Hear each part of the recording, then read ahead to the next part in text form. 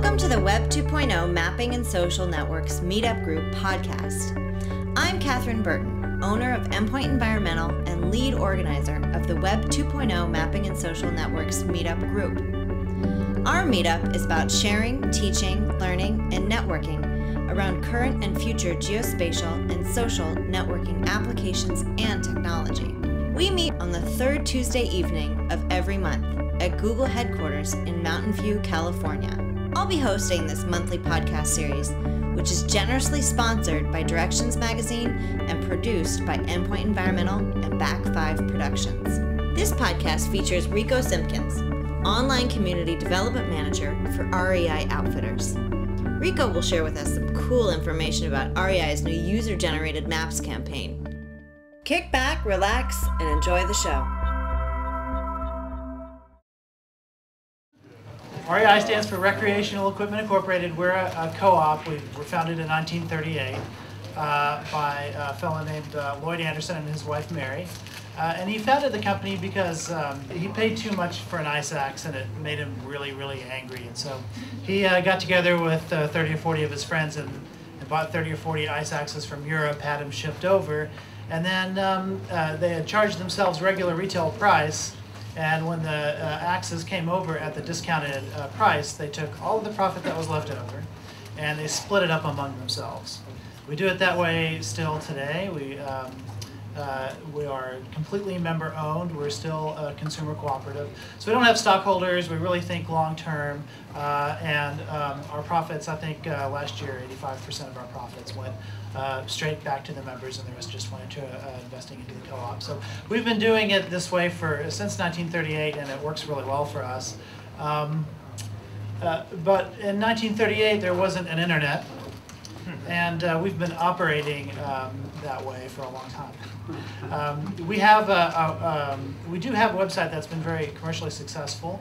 Uh, we're now um, we're projected to do about a billion and a half uh, this year um, as a co-op, and a big chunk of that is um, increasingly more and more of that is happening on the internet. And so uh, we have communities everywhere. We have uh, 99 stores right now, so we're about to open our 100th, and and every single one of those communities, we have uh, we have uh, lots and lots of people coming to REI and establishing sort of a cultural community in the stores, and they're just begging to have that same kind of community um, out there in the world. Um, our marketing department came up with this concept. Um, uh, for uh, online community, which is uh, that's my job is to develop an online community for REI. Um, uh, nobody knew what that was going to look like when they asked me to take this job. And uh, now uh, we, the ideas that are brewing in our head is uh, what community might look like are very different than what I was hired in to create. So I, I think they thought that we were going to end up having sort of a MySpace, you know, on REI where everyone has uh, user profiles and that they all talk to each other. Then we realized, wow, there's you know a lot of sites like that, and uh, the world doesn't need any more of them. Uh, but what we did realize is that there is something unique about our user base, and that is they really um, aren't really interested uh, in uh, sharing user profiles. What they're interested in is finding out where they need to go uh, for their vacations. And that's sort of the theme now for uh, online community, uh, uh, loving the outdoors, which is what we've always done, and sharing the love in a kind of new way. Um, and this is the first time I've sort of ever seen a, a, strategy statement that has the word love at all, let alone twice.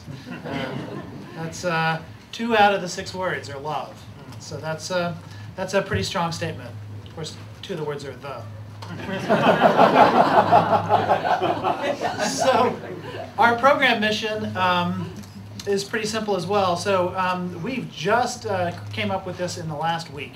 Uh, that is, uh, we've really sort of filtered it down. It got really complex, and we finally decided at the end really our mission is to deliver content and features that connect people to our co-op, to who we are, uh, inspire uh, passionate and lasting participation outdoors. Now that doesn't really sound like um, a, com a, a, computer and internet driven mission. In fact, um, what's kind of unusual about the community that we're trying to build is that we're really building an online community that's designed to get people offline. Right?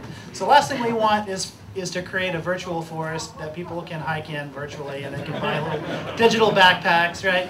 Um, that's really sort of a horror story for us. In fact, um, in fact, uh, you know, um, technology is changing so fast that um, our CEO, um, Sally Jewell, is uh, relatively famous for saying uh, that we don't consider other people in the outdoors to be competition to our co-op, that we all consider them to be strategic allies in getting people outside.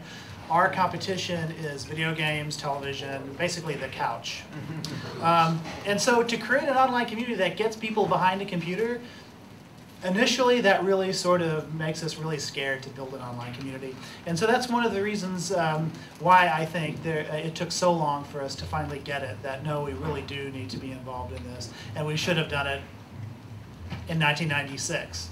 Uh, but we didn't. We, we wrote a, uh, we created a website instead uh, that was very transactional and it's made a lot of money for us, but it hasn't served our community uh, in, um, in, any interactive way. It hasn't given them any sort of ability to sort of influence the co-op. Uh, and so that's, that's one of the things that we're changing. So, um, so um, customer research that we did early in the year as we were trying to build this strategy told us that 62% um, of the uh, of the responders to our uh, surveys said that they want expert advice, uh, which is something that is um, very true in the stores as well. When people come into the stores, they're looking for products, but they also want to know a lot about uh, the products that they're buying and the places that they're going. Uh, they're looking for expert advice. Uh, the, the second highest response was that they wanted to post photos. And they wanted those uh, photos to be posted in the context of where to go. In fact, they want everything that they do to be uh, posted in the context of where to go. Um, and so that tells you, uh, that started giving us a clue right away as to what direction our strategy should be in. Um, guidance on where to go became probably the, the, the first thing that popped in our head in terms of uh, what our focus should be. So we created these uh, really complex roadmaps and system flows and um, I'm not going to talk about them today because uh, you probably know more about these types of things than I do. So we're going to go right past that and into um, these are some of the people that we've been partnering with, and we've really talked to about, I'd say, at least 30 or 40 uh, major participants uh, in a variety of technologies. These are some of the ones that we're very excited uh, about. We've developed a, a, pretty good relationship uh, with Google, and they came to campus and they talked to us all about uh, the products that they have. Um, a lot of book publishers, uh, Falcon, for instance, and, and Mountaineer, book, publishers that create books like 101 Best Places to Hike in um, the Bay Area, something like that um, are very interested in sharing that data with us. Uh, we don't know, didn't know at the time exactly how we would display that data. We thought we would just do them in lists, which of course you guys would find very archaic. Uh, but that's a, that was some of one of our earliest um, thoughts. Uh, National Geographic uh, has uh, really just been fantastic about educating us on where their technology is. They have maps that go way back uh, way back to the 19th century, they've been in business collecting this data for so long. And really, their technology products are based not on uh, satellite imagery and all, uh, all of the excellent sort of new vector-based mapping that's been going on in the last 10, 20 years. Um, what's great about them is their mapping technologies are still the, the, the, the maps that they've been collecting ever since, I think, the 1890s when they started. And so um, that's why their, their Topo product, if you guys have ever dealt with Topo product, one of the reasons why it's so great and so highly printable is it's really just scans of physical maps that they've been making forever and ever and ever. Um, and it's a, just a really great product. And they're working with this as well. ESRI, uh, I'm sure you guys know, they, they provide something like 85% of uh, the mapping data for municipalities across the country. And um, we're interested in working with anybody who has content uh, or data to share. And I'll tell you in just a minute how we uh, want to do that. Um, but first we had some challenges.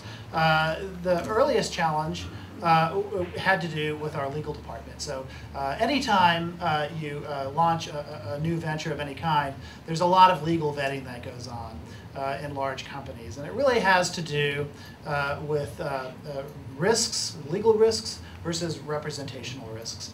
Um, and we were also considered, you know, small, uh, smaller issues that are still significant. Wage and hour issues. What happens if somebody logs on to our site who works for us and adds data to the site? Should we pay them? If we don't pay them, what, you know, what's wrong if we do pay them? Does it mean that they represented us when they put it up there and now we're liable for anything they say? A lot of issues that we had to get through.